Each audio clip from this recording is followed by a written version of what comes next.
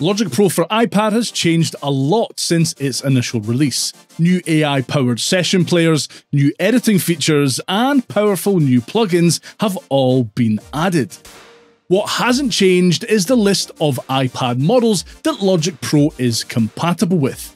With so many of Logic's features now either recommending or requiring an iPad with an M series chip, how do other iPad models hold up when using Logic's shiny new features?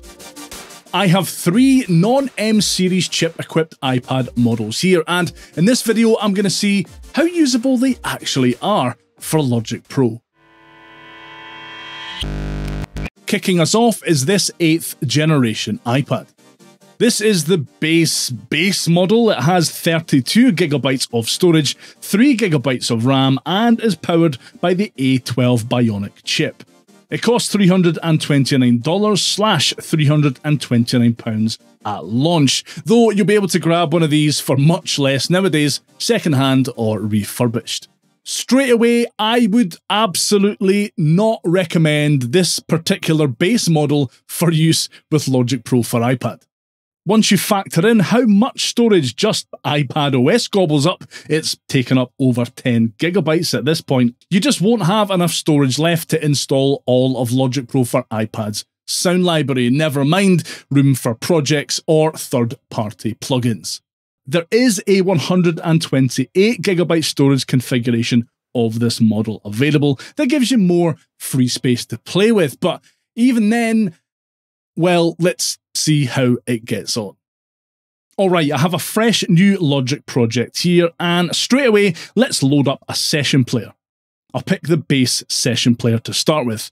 By the way, I've added the CPU and memory monitor to the control bar on all three of these models so we can see how much pressure the device is under. Okay, as soon as the bass session player loads up, the CPU and memory usage spikes. As of Logic Pro 2, both the bass and drummer session players load up with ChromaGlow enabled by default. Turning it off does actually seem to reduce CPU and memory pressure a little.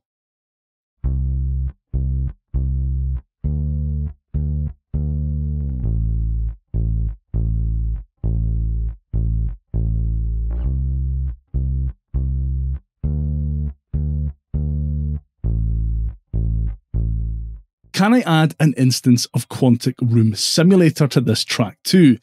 It loads up okay, but as soon as I try to switch QRS modes or access presets, I get a CPU overload message.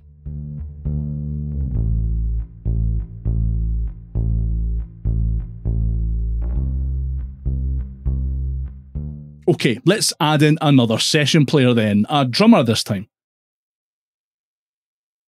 Immediately, the iPad lets me know there is not enough free memory to complete the operation, though tapping OK does actually let me access the tracks and it even plays back. Like I said, the drummer session player loads up an instance of ChromaGlow by default now, so maybe disabling it here will free up some of that memory pressure. Oh, okay. Can I reopen the project? I can, the project isn't loaded properly. Yet the session drummer regions haven't loaded properly at all. Oh dear. Alright, we'll keep it simple then. Let's open one of Logic's demo projects and see how we go.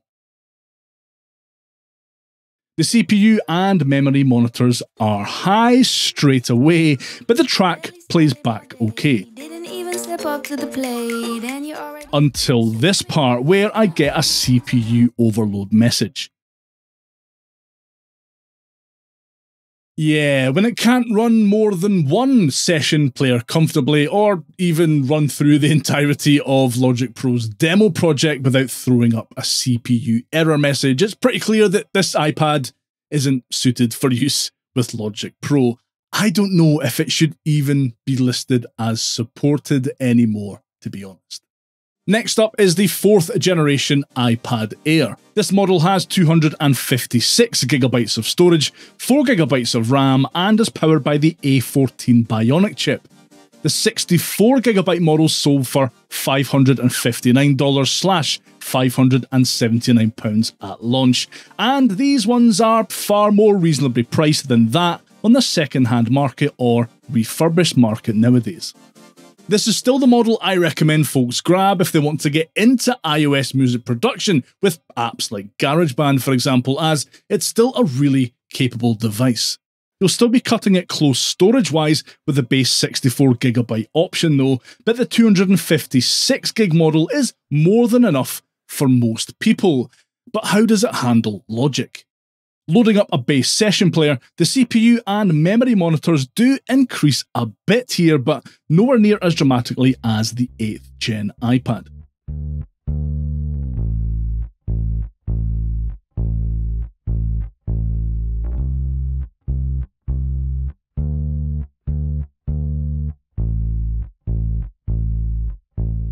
Playback appears to be really smooth actually. What happens if I add an instance of Quantec Room Simulator though?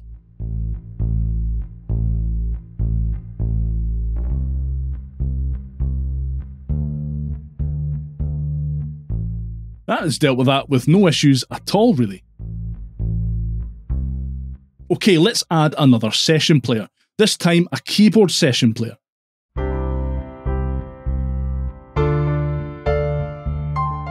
I can dive in and edit the keyboard track in real time with no hitches or lag at all. That's brilliant actually.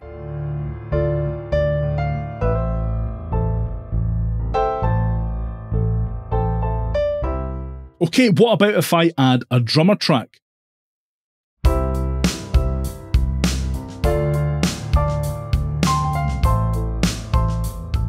No issues there either multiple instances of ChromaGlow, Quantec Room Simulator on three session players. All of that is no sweat for this iPad Air. I can actually also record MIDI, add heavy duty effects to it. The iPad Air just takes it all in its stride. Great stuff. The iPad 8th gen wasn't able to play back one of Logic's demo projects. If I load up and skip to the same part on this iPad, swing, swing, well, the CPU monitor doesn't hit red and it doesn't choke or anything, but the project does start to lock up a bit. Having said that though, it does continue to play until it reaches this part at the end of the project where the iPad can't cope, freezes, and throws up a system overload message. So the iPad Air 4th gen did fare a lot better than the 8th generation iPad did across the board. It was able to handle multiple session player tracks with some of Logic's most taxing plugins applied with no real issues. Both of these models were released in 2020, by the way, which, when you take into account the differences in their capabilities when it comes to running Logic, absolutely blows my mind, really. No, you're not getting stem splitter with the iPad Air 4th gen. That feature does require an M1 chip or later, or a17 Pro chip equipped iPad. But if you just plan on working on smaller projects or are just getting started with Logic Pro for iPad, this option could absolutely work for you. But as we saw with Logic's demo song, larger, more plug-in heavy projects will push this iPad to its limit. Finally, this is the iPad mini 6th generation. This model has 256GB of storage, 4GB of RAM, and is powered by the A15 Bionic chip. The base 64GB storage model sold for $499 slash £499 at release. When Logic Pro for iPad first released, I did a performance review with four different iPad models, including this one. And this is the model that surprised me the most, as it ended up running Logic really well. Let's see if that's still the case. Quick note here this particular iPad mini has a screen issue where this big red line appears periodically. It doesn't seem to affect screen recording, but if you do notice it, that's what it is. Loading up the first session player track, and the iPad mini seems to handle things maybe a little better than the iPad Air 4th gen.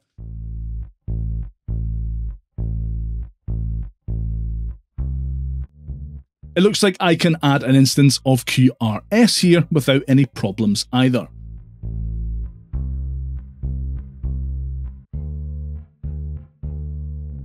So far, so smooth.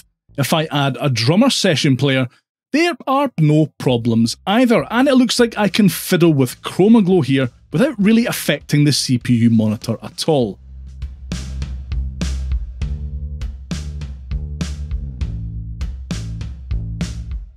I can add another instance of Quantec Room Simulator here too.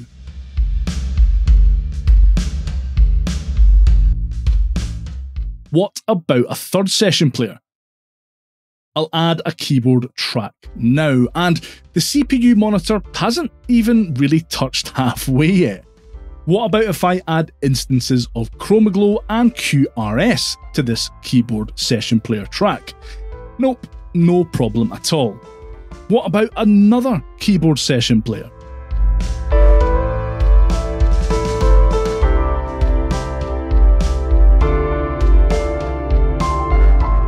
Nice, that all went quite smoothly. Confusingly, to me anyway, this iPad model is able to use the stem splitter feature that arrived with Logic Pro for iPad version 2. Technically, the A15 Bionic chip did release after the M1 chip, so it does kinda make sense. And yeah, performing stem splitter on this file inside Logic on the iPad mini 6th gen works exactly as it should with zero issues.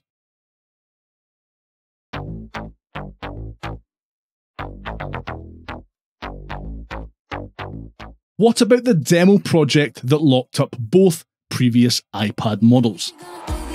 The iPad mini deals with the section that locked up the iPad 8th gen in the same way as the iPad Air. It plays it back, but it is a bit stuttery. In the outro, it unfortunately does throw up a CPU overload message just as the iPad Air did.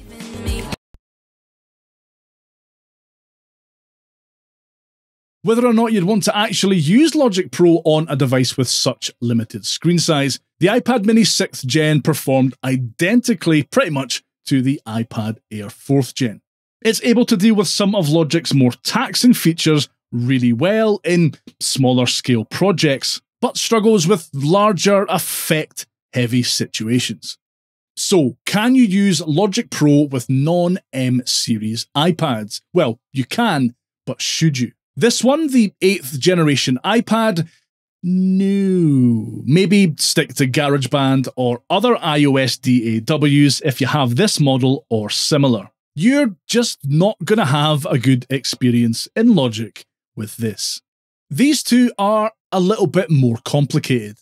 Yes, you absolutely can create small to medium sized projects with multiple AI powered session players and heavy duty effects with little to no issues.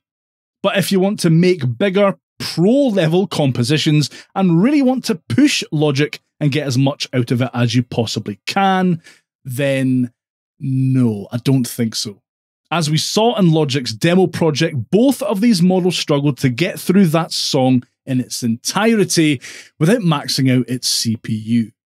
Let me know what iPad model you use to make music in Logic Pro for iPad down in the comments. And if you found this video interesting or helpful, then give that like button a wee tickle on your way past. I really appreciate it and it helps more people see this video.